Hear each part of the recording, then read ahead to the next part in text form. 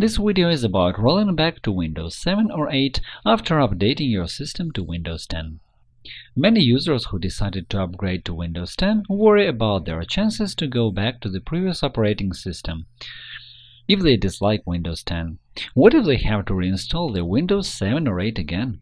In fact, there is nothing to worry about.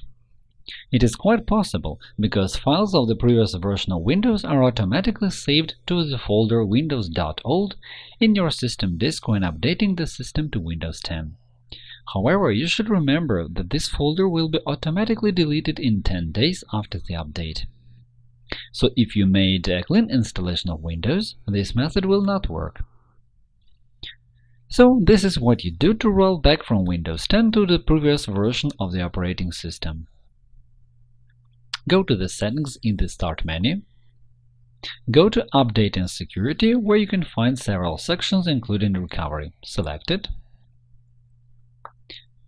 You will see several settings, and we will be interested in one of them. Go back to Windows 7 or Windows 8.1, depending on what operating system you had before.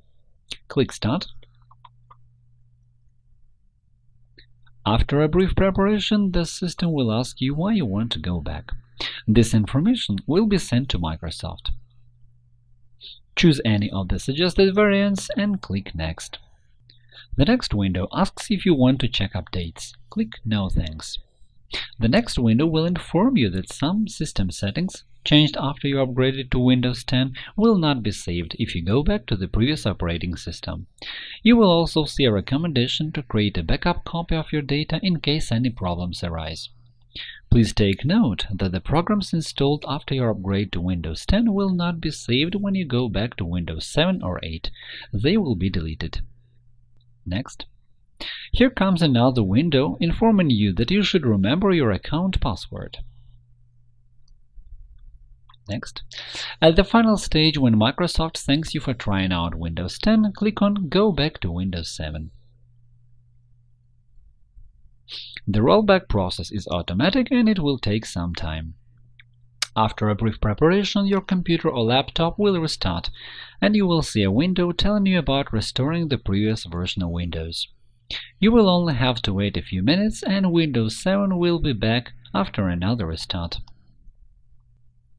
Please take note that when you roll back your system to the previous version, Windows 7 in our case, its activation will not be restored, so be prepared to activate it again. This method to restore the previous version of Windows works during 10 days after updating to Windows 10. When the 10-day period is over, the previous version of the operating system, in our case Windows 7, can be restored only with a system image which you should create before updating to Windows 10 or after a clean installation. Watch our previous videos to learn how to update Windows 7 to Windows 10 for free and how to make a quick installation of Windows 7.